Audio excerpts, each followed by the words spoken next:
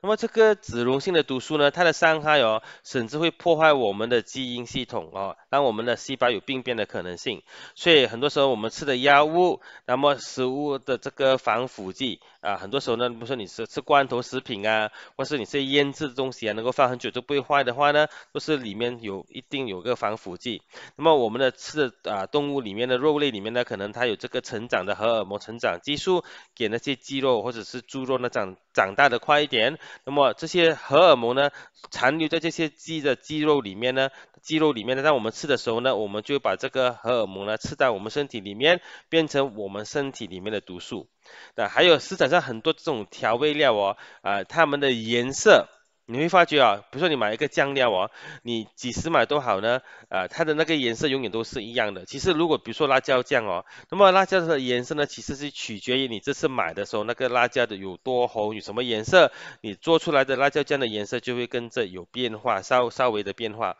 但是你发觉我们买这些酱料呢，你吃了一年、五年、十年同一个品牌哦，那个颜色都不会变的，所以你就知道说，其实它是由这些啊化学物品一个去调味啊或者调它的颜色或者 stabilizer 呢，那么这些都是其实我们的身体里面的属于脂溶性的毒素啊，包括食物的色素。那么最明显的就是现在我们喜欢吃这些啊蛋糕啊，好像那些爱心啊，做的很漂亮，很 colorful 哦，而且那些啊蛋糕的这种 coloring 呢，其实呢都是属于啊化学性一带有点化学性的东西，所以吃多呢，对我们身体是会成成为这种脂溶性的毒素。啊，如果我们的蔬果呢，我们能够买 organic 的，那么你就少这些农药，那么少激素的问题。那么另外呢，啊海鲜类呢，因为现在的人都很喜欢吃海鲜哦。其实我们所吃的海鲜里面呢，都有蛮多的这个超标的重金属啊。因为呢，呃，是地球的这个火山活动在海洋里面还是很 active。那么火山活动里面呢，啊会喷出的浓啊这个火山的浓浆里面呢，它其实是有很多重金属的，包括水银，所以很多。时候呢，啊，海鲜啊，动物呢，你们的身体呢是累积了不少的这种重金属的水银。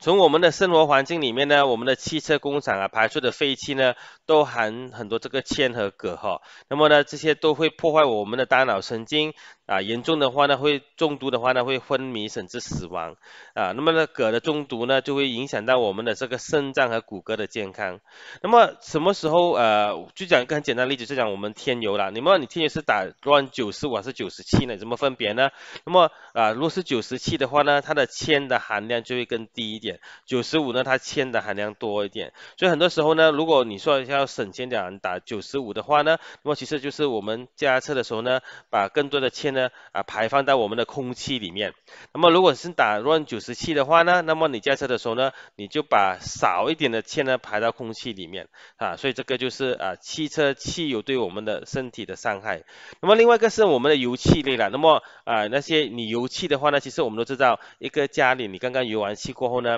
我们都要打开给它通风，可能不要马上搬进去住，为什么呢？因为我们会闻到很多这些重金属 chemical 的东西，所以我们都知道的。所以很多时候呢，我们生活的环境里面呢，可能呢啊接都会接触到这些油漆类的东西，包括我们的化妆品的，很多化妆品里面其实都有含有铅。啊，那你要有好的这个化妆品的效果呢，它可能含铅的话呢，啊，那么你就会好用一点，或者那个颜色会漂亮一点。那么这样子呢，无形中也是让我们的皮肤，让我们的啊身体呢接触到更多的这种重金属。